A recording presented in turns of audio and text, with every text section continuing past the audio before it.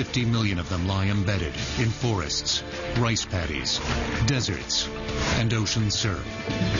They can blow up a battleship, a tank, a platoon, a soldier, but mostly they blow up civilians. Now, landmines on Modern Marvels.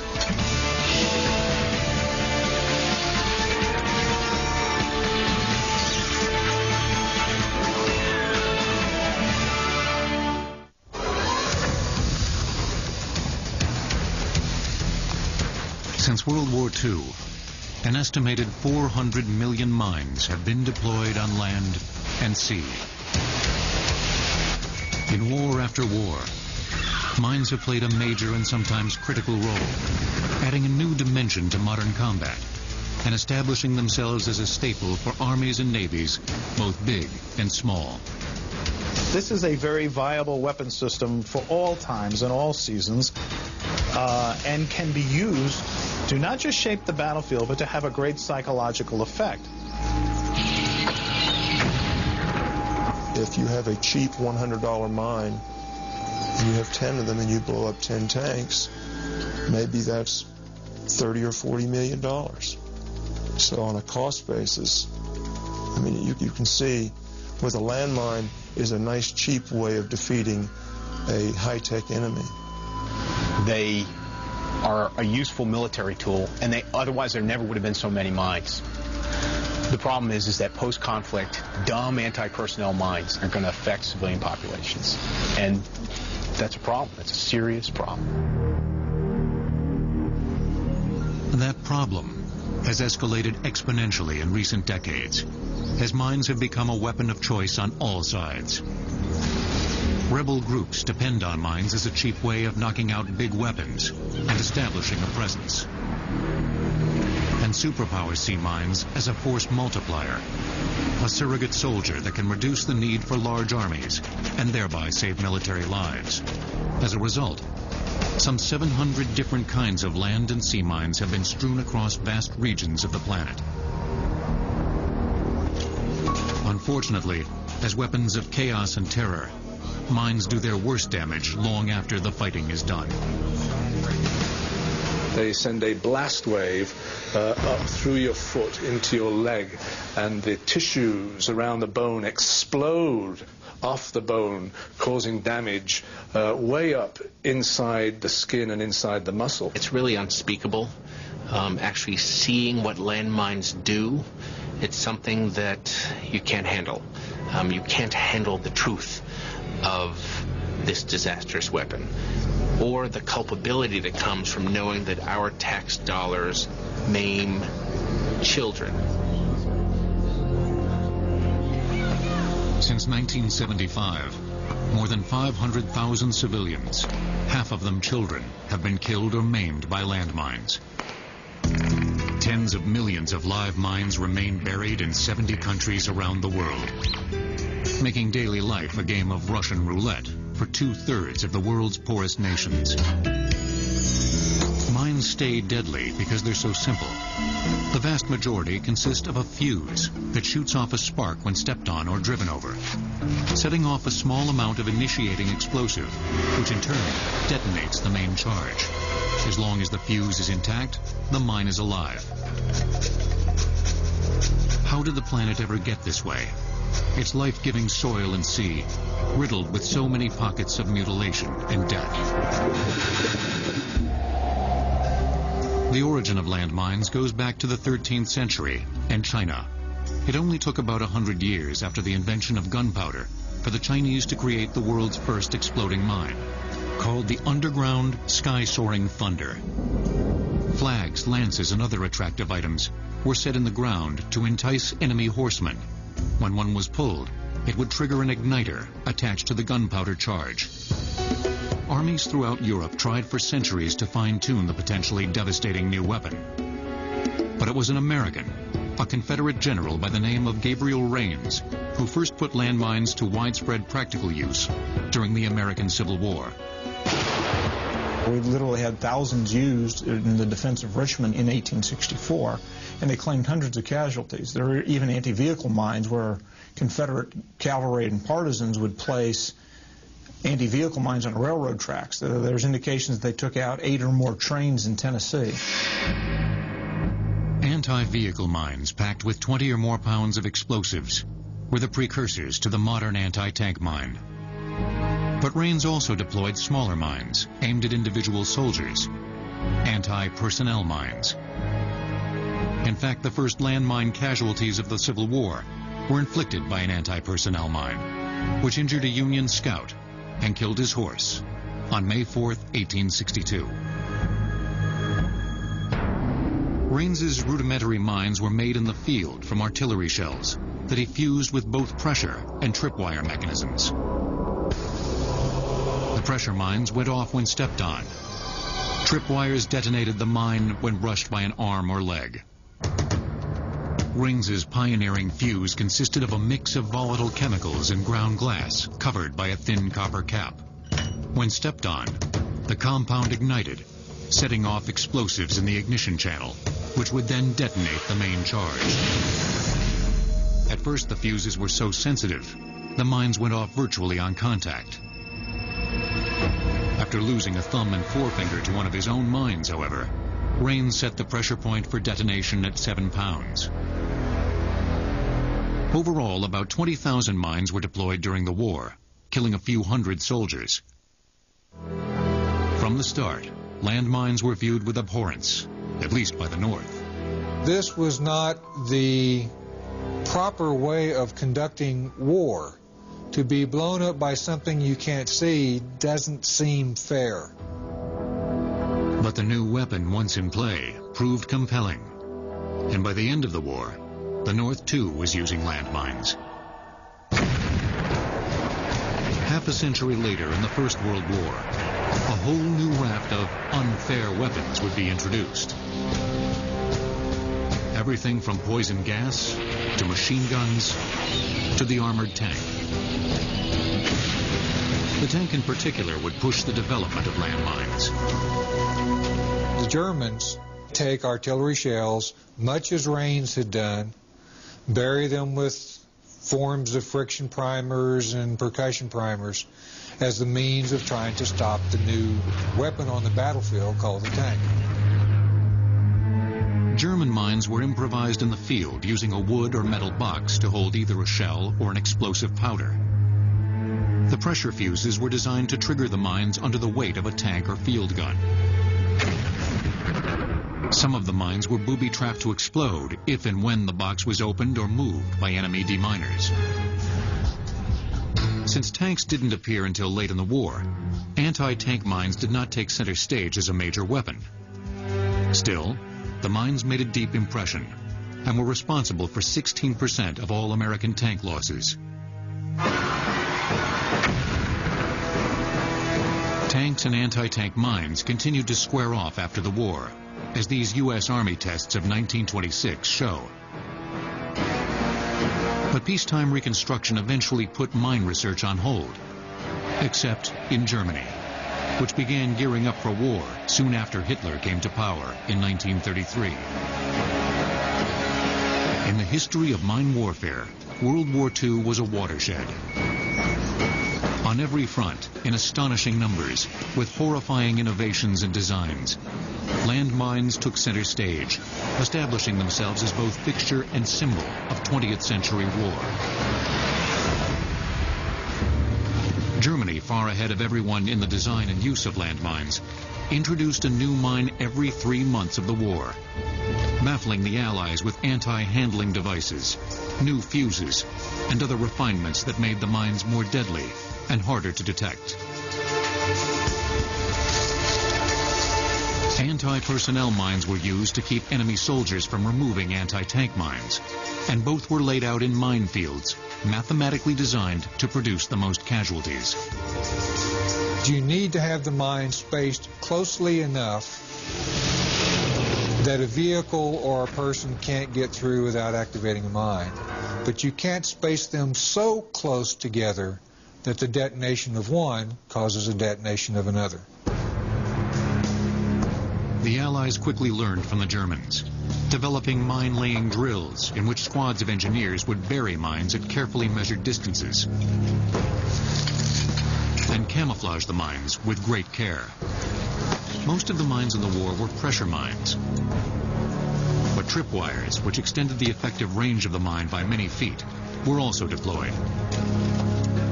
The most shocking new anti-personnel mine of the war was undoubtedly the German S-mine, short for shrapnel mine, otherwise known to American troops as the Bouncing Betty. Introduced against the French in 1940, the mine was activated by tripwire or footfall. But then the surprise. Instead of exploding from below, a small charge of black powder shot the mine belly high. Then the main charge exploded, sending 350 steel balls in all directions. It was the, the first anti-personnel mine designed to kill large numbers of people. It, has got a uh, frag pattern with a lethal radius of uh, about 25 meters in a 360 degree pattern. So it was possible for an S-mine to kill or wound an entire squad. Many of the wounded and dead were combat engineers who had the nerve-wracking job of sweeping metal detectors across every inch of front in search of mines. That job would become much more hazardous mid-war as the Germans introduced a new mine, one that none of the Allied metal detecting tools could find.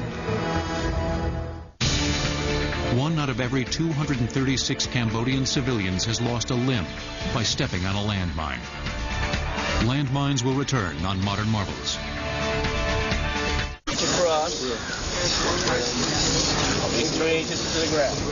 For the contemporary combat engineer, advances in minesweeping technology haven't improved dramatically since World War II.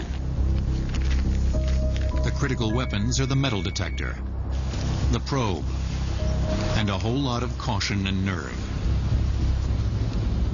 Metal detectors weren't nearly as reliable in World War II, but they still provided the last and best line of defense against stepping on a mine. When you're using a detector, your life, in a way, depends upon it. And you sweep carefully, and you make sure you sweep thoroughly. Jack Wack was a 21-year-old combat engineer assigned to lay and clear mines during the Allied advance through Italy in 1944. When you're sweeping and you uh, get a signal, you immediately freeze and uh, gradually ease to the ground, and you gradually start probing horizontally until you feel some metal. Now, once you find it, you gradually, gradually take away the dirt until you expose the top of it. And then you try to look for any trip wires that they booby trap the thing. And then comes the time when you pull it out. The mine that gave combat engineers the most trouble was the German shoe mine, a non-metal mine introduced in 1942 that metal detectors couldn't pick up. You couldn't find the shoe mine, which was a small wooden box and uh, had only one little piece of metal in the whole thing. And with those, uh, when we were searching for mines, that was the single thing we dreaded. Wack lost both legs when he stepped on a shoe mine while clearing debris around a bombed-out bridge. When I stepped on the mine, I didn't realize it. There was no indication by the needle. There was no sound. And uh, the first thing I knew was the tremendous roar, and I was up in the air. I knew it was a shoe mine because just from the amount of the explosion, and uh, and when I laid down and looked, I could see my legs, and I could see just the just the feet were blown off. I sat there a second, and then I felt this sense of peace. I, uh, I was completely confident that uh, even though I lost two legs, I would a normal life. The dozer operator carried me out, and uh, they called for an ambulance. And about a half hour, an ambulance came and took me away. If the Germans had the upper hand in laying mines, the Allies, by necessity, came up with the best tools for rapidly breaching minefields. Pounding the ground with flails that had enough armor to protect the operator while detonating mines was one way. Rollers could also be used to set off mines. And plows were employed to clear a path by shoveling mines off to the side. Explosive snakes pushed hundreds of yards across a minefield and then blown up to breach a path wide enough for a tank also saw some action. As did a smaller line charge called the Bangalore Torpedo. The squad pushes the pipe forward across the minefield. Then they put the, the explosive train in the back. They detonate it, and it detonates the mines that it's up against. That explosive to explosive continuity causes the mines to detonate. One of the most important mine-countermine showdowns of the war took place on D-Day. When American and British troops hit the beaches of Normandy, the first line of German defense was mines. Four million of them along the Atlantic coast. Most were German Teller mines, anti-tank pressure mines containing 12 pounds of TNT. Rommel would put wooden sticks in the ground and then attach a Teller mine to the top of it, with the idea being that at certain tide levels, the landing craft would come in, hit the Teller mine, it would go off and destroy the landing craft. One of the things not usually appreciated about D-Day is that American engineers constituted 40 to 50 percent of the initial landing effort. So it was a major effort. And one of the reasons we had so many problems on Omaha is we didn't get many of the lanes open so that we could then land tanks and other heavy equipment to help us deal with the defenses. And we suffered heavy casualties. About a year after D-Day, World War II was over.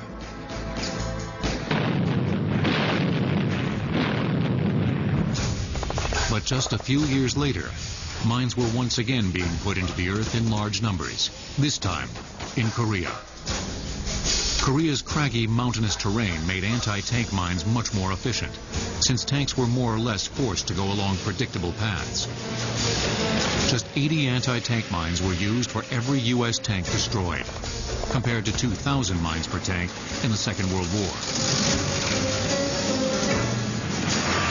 Anti-personnel mines weren't so effective, at least not as a deterrent to enemy movement, since the Koreans were willing to use human wave tactics to breach a minefield.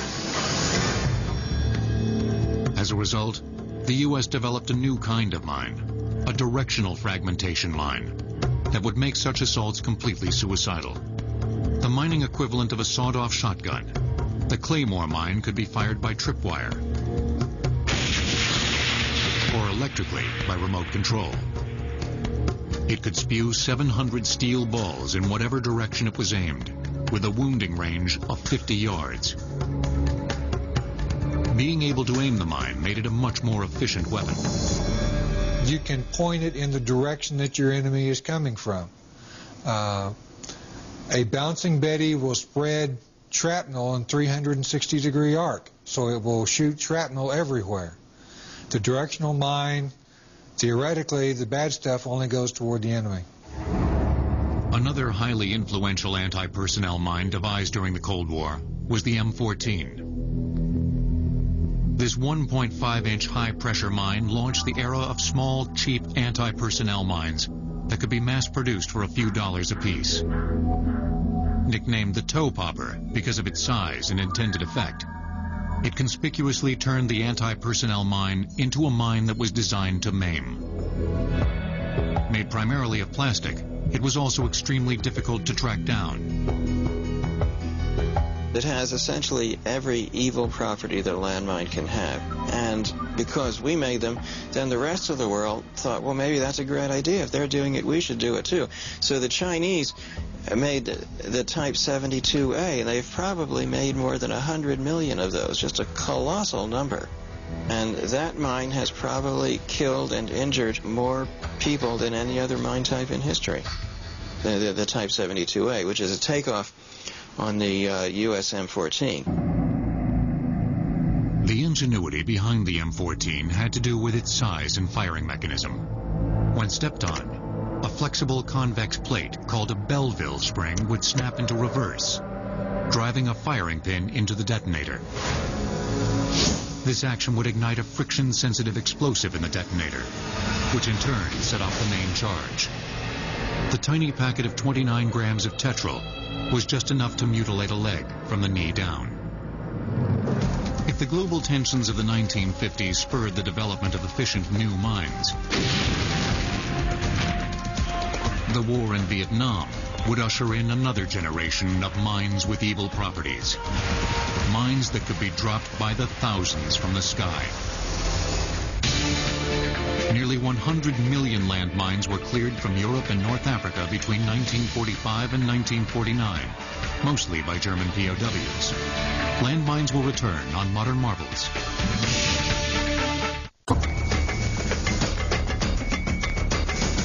Played a bloody and pervasive role in Vietnam, where anti-personnel mines in particular were used by both sides in devastating new ways. Vietnam was an unconventional war, with an enemy and a front that was hard to define. Hit-and-run guerrilla tactics made traditional mines and minefields obsolete.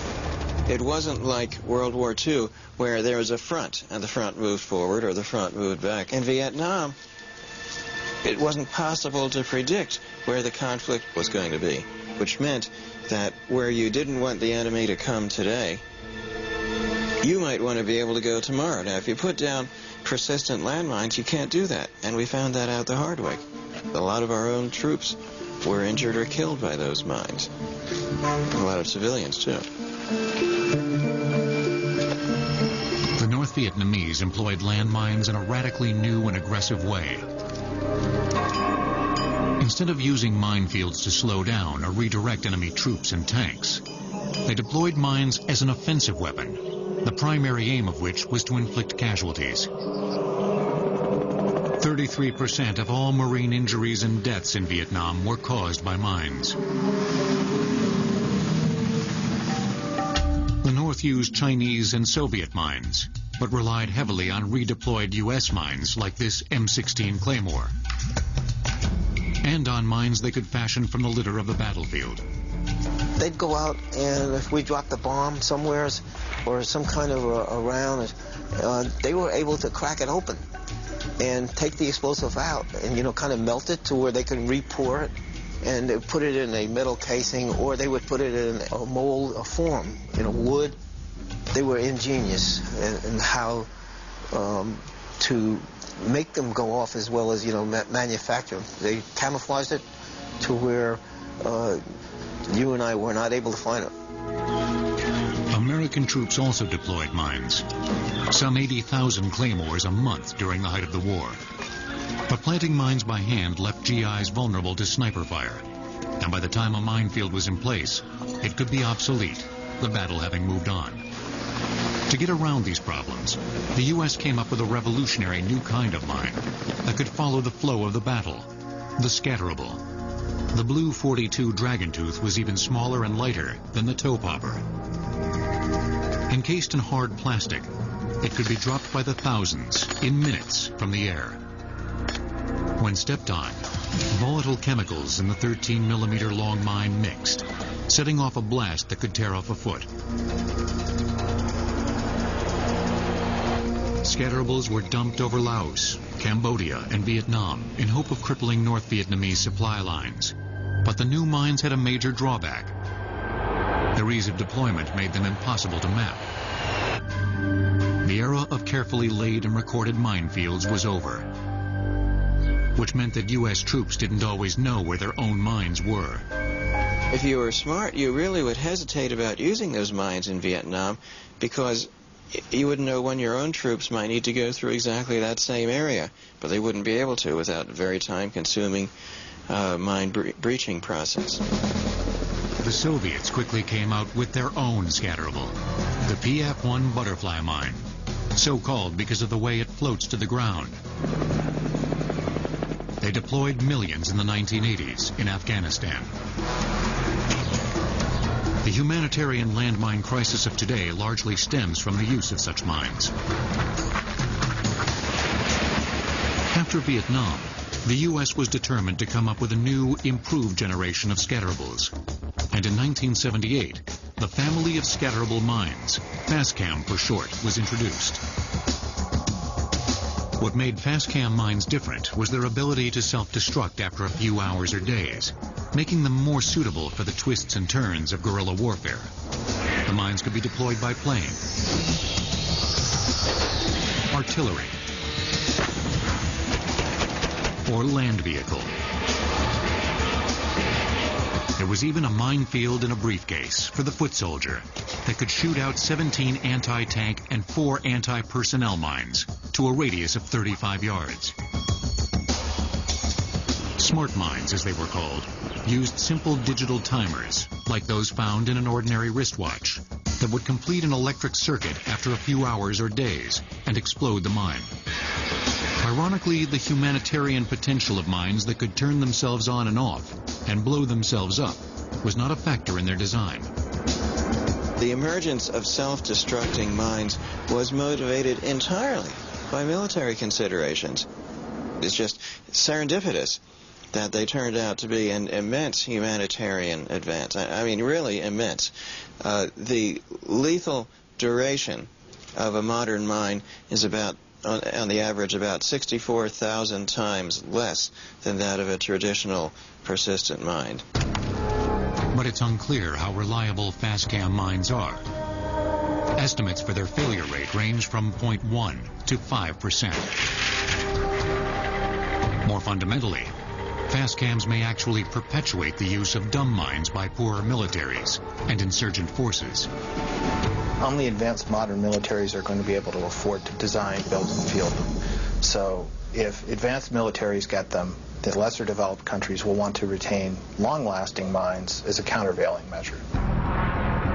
Certainly rebel troops and small armies won't be able to afford vast quantities of the $120 ADAM or area denial artillery mine which can be dropped from the sky or shot out of a gun, and which self-deploys seven 20-foot tripwires upon landing. Or the $114,000 wide area anti-armor munitions mine, otherwise known as WAM, a mine that uses multiple sensors and a penetrating warhead to detect and take out an enemy tank from a distance of 100 yards. Even greater distances and levels of lethality are routine for sea mines, which have also established themselves as a staple of modern war and spawned whole new forms of mine and countermine technology. During the Vietnam War, the U.S. dumped about a thousand tons of gravel mines, anti-personnel scatterables, about the size and shape of a sugar packet. Landmines will return on Modern Marvels. Mine warfare is not restricted to combat on land. Sea mines have also had a huge impact on 19th and 20th century conflicts.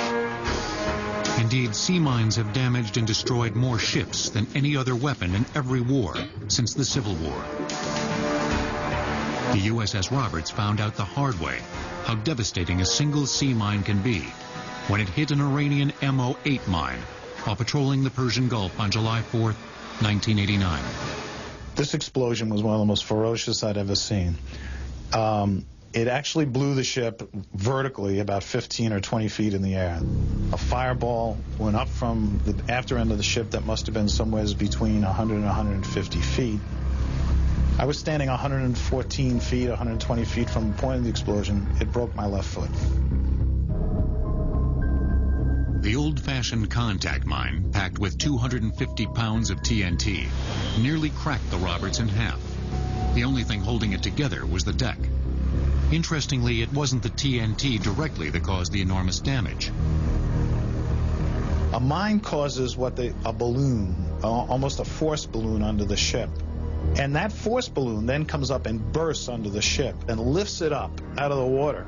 And when it releases the pressure, it's the falling back into the water after being lifted that causes the ship to break its back and, and usually go right to the bottom. Visions of such spectacular destruction in which a cheap explosive wipes out the enemy's most expensive ship inspired the development of sea mines from the start. David Bushnell, an American student at Yale who invented the submarine during the Revolutionary War, also designed and built the first sea mine. Known as a keg mine, this simple contact mine was made by packing a wooden butter keg with gunpowder and attaching it to a float. A hammer and flintlock mechanism, like that on a musket, was attached to the mine, which was triggered when hit by a ship. The mine's failed to knock out any British vessels. Their only victims? Two boys who tried to fish out one of the kegs. Mortar mines proved much more effective in the Civil War, when the South used them as a great equalizer against the North, sinking or damaging some 43 Union ships. The South offered half the cargo of a sunken ship to anyone who could design an effective mine, or torpedo as they were then called. Some of the designs were little better than the keg mine. They actually used a container that was originally intended for whiskey, five-gallon container, packed it with black gunpowder, put an artillery friction piece in it, and then suspended it below a float. And one of the Union vessels stumbled upon it, went down in 30 feet of water. Only thing showing was the smokestacks. Not all mines were so rudimentary. The Singer mine, a moored contact mine invented by the brother of the sewing machine magnate, used a spring-driven plunger that set off a 60-pound black powder charge.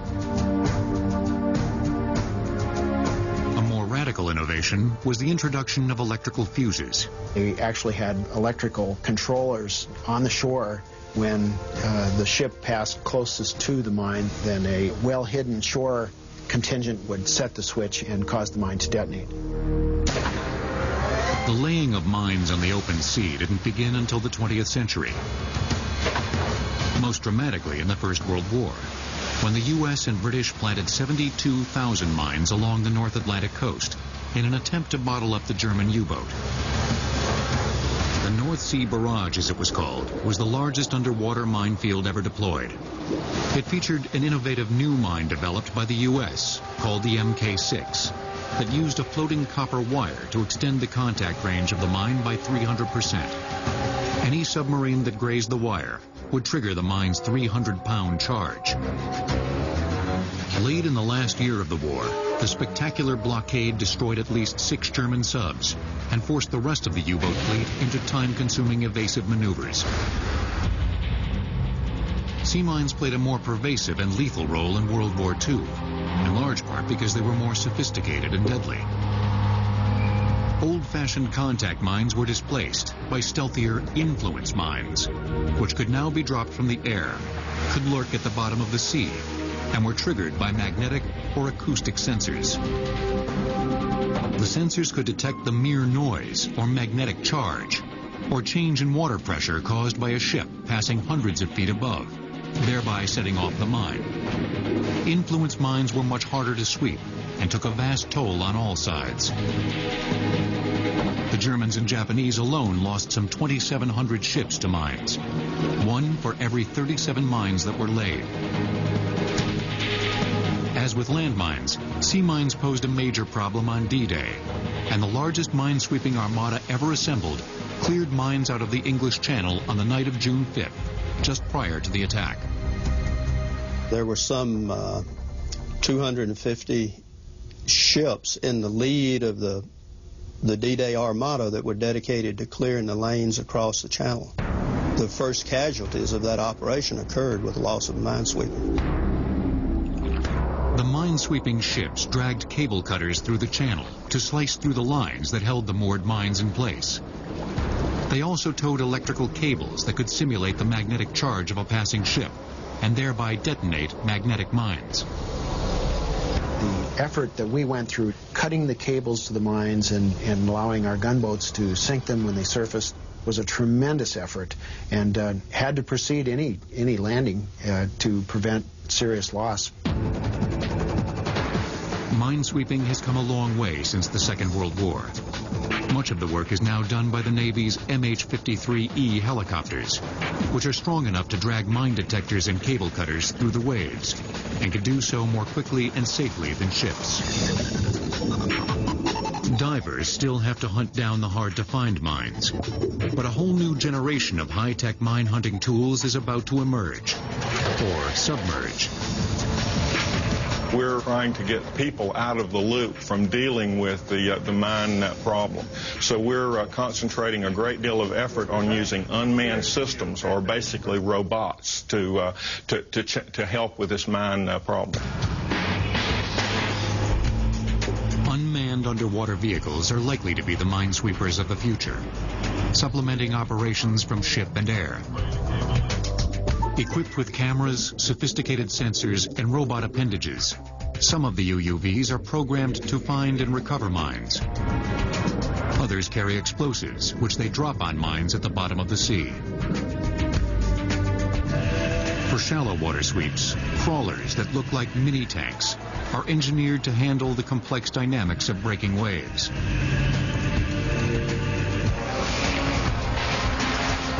The Rapid Airborne Mine Clearance System, or RAMICS, meanwhile, may provide another interesting way of getting rid of underwater mines by literally shooting them into extinction with bullets designed to stay on course after they hit the water. It does that by having a projectile that creates its own cavity as it passes through the water so that it isn't slowed down, okay, by the water uh, like a conventional bullet. Getting rid of mines in the surf zone is a job for the Navy's experimental explosive nets and line charges, which use blast pressure to detonate mines.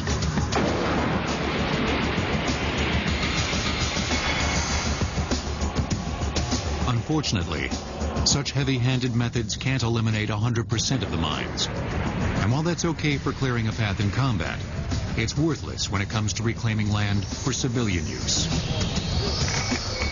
The humanitarian demining kit of the 21st century requires an altogether different set of mine hunting tools. Most landmines cost between 3 and $30 to make, and between 300 and $1,000 to clear. Landmines will return on Modern Marvels. Putting landmines on or in the ground is a whole lot easier than getting them out especially after a war, when an area has to be totally demined in order to be ready for civilian use. Would you send your children to play soccer in a field that they said, we think we got 99% of them? Absolutely not. Adding to the challenge is the fact that deminers face a mind-boggling range of mines, including many that are booby-trapped to explode when lifted. The U.S. State Department's humanitarian demining program puts out a pack of 52 mine cards per country, like this one for Bosnia, that alert deminers to major mines. The best post-conflict demining tool after the metal detector and the probe, which have been in use since World War II, is a minesweeping dog. Hundreds of Belgian and German shepherds, trained to smell explosives and immediately signal a mine, are at work in the minefields of Europe, Africa, Asia, and South America. Demining dogs cost around $16,000, however, and can't work in wind, which confuses their sense of scent. Another critical part of the demining toolkit that is making life safer for those on the front lines is personal protection equipment, like this full body suit designed by med engineers in Canada that was blast tested against a full range of anti-personnel mines. If you're not wearing any PPE and a mine goes off, you're going to be dismembered. But if you're wearing PPE, upper body protection, lower body protection, maybe foot protection, hopefully you're going to minimize the injury enough so that the medical attention that's there can save your life and maybe give you something to walk on. Unfortunately, blast-resistant visors, vests, and boots cost thousands of dollars and are too expensive for most deminers in the third world. Also prohibitively expensive for much of the world are the latest demining vehicles, spin-offs of the old rollers and plows, like this 56-ton Rhino earth tiller, which dredges and detonates mines by crushing them between its upper and lower drums. Or this floating mine blade, a remotely operated bulldozer with teeth that dig 10 inches into the ground and separate earth from mine. Aerial mine clearing is a promising technology that might be available in a few years. A camcopter in development by the U.S. Army uses onboard GPS and infrared sensors that can read the heat signature of a landmine and thereby create a digital mine map of a given piece of land. The map can then be used by deminers to track down mines. Still more creative approaches include the use of bees, equipped with tiny radio packs and trained to scent out mines. And something called purple grass, a weed that would change color when close to a mine. Despite these prospects, experts say it is highly unlikely that we'll ever develop a technology that makes demining easy and safe. There's so many different mines, so many different types of soil, so many different environmental circumstances that there is no one silver bullet that's going to solve the problem at once. The problem, of course, will never be solved as long as people keep putting more mines into the ground than they can take out. This still appears to be what's happening. Humanitarian deminers have cleared nearly 3,500 square miles of land worldwide. But feuding countries with bitter border disputes, like Pakistan and India, have deployed millions of new mines. Meanwhile, the civilian casualty count from post-war mines continues to mount. 15 to 20,000 new victims every year. For obvious reasons, that's a reality that's hard for most Americans to really understand. I think all it would take is a few landmines, God forbid, planted on uh, town squares and commons uh, in New England or the Midwest to drive it home. That we need to ban this awful, insidious weapon of mass destruction. Jerry White lost his right leg when he stepped on a landmine while visiting Israel as a student in 1984. The mine had been laid 17 years earlier, during the 1967 Arab-Israeli War. One beautiful spring day in 1984, I was hiking down the side of a hillside and boom, the world exploded all around me. My lower right leg had been blown off and was rather shredded, and my left leg was blown open with my bones showing, and in fact, um, bones from one of my feet had um, become arrows into my second leg. White was told that stepping on a mine was an anomaly, a freak occurrence. But the more he investigated, the more he discovered that his experience was far from rare. It wasn't just Israel. That wasn't the most mine-affected country in the world. It was Bosnia. It was Cambodia. It was Angola. It was all these countries that were uh, in the middle of civil war or emerging from civil war, where you saw massive casualties, hundreds per month in some cases. So it was really taking and doing the math. Co-founder of the Landmine Survivors Network, has been part of a humanitarian grassroots movement to ban anti-personnel landmines worldwide. Launched in 1992, the international campaign has achieved unprecedented success as an initiative fueled entirely by non-governmental organizations.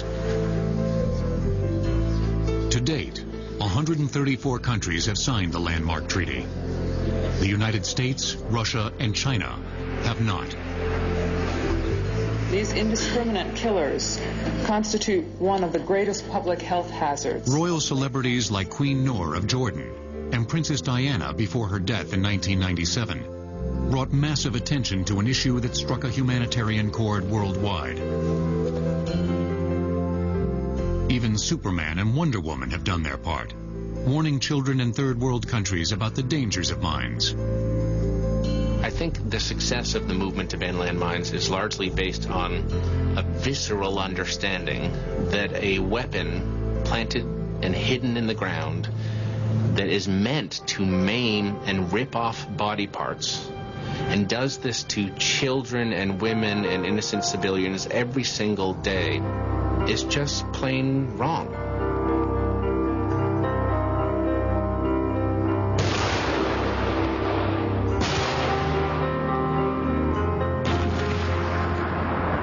Weapons of war, of course, are supposed to maim and rip off body parts. Which is precisely why landmines will probably continue to wreak havoc in war and beyond war for many years to come. Some heroes with the right stuff never left the ground. If we didn't come up with some answers, this crew might not come back to Earth. Failure is not an option. Sunday night, August 24th at 9, only on the History Channel. Even astronauts have heroes.